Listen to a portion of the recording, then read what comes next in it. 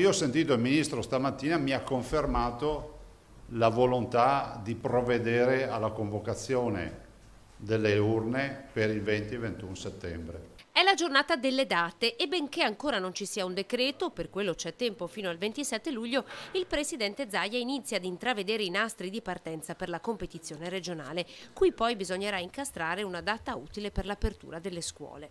Consegna liste, deposito liste 20-21 eh, agosto, inizio campagna elettorale quindi il 21 e poi pronti e via. E noi comunque siamo dell'idea comunque di aprire le scuole, adesso faremo una riunione, ne parleremo, però penso che si andrà verso il 14.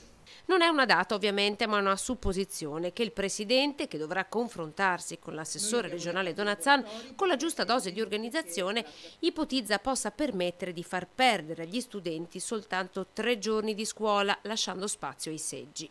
Prendono in carico la scuola il sabato, allestimento seggi, domenica e lunedì si vota, martedì si dovrebbe sanificare, mercoledì aprire. Questo è il programma che immagino si possa mettere in piedi. Capitolo Giorgia Meloni che provocatoriamente questa mattina ha espresso la sua contrarietà nei confronti delle affermazioni del presidente Zaia che ha ricordato agli alleati che hanno confermato l'appoggio alla sua candidatura alle regionali l'impegno per l'autonomia.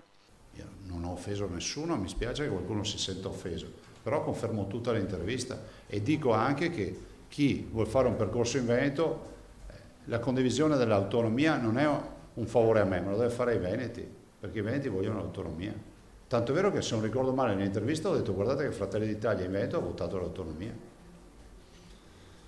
Forse non bisognerebbe leggere solo i titoli degli, degli articoli.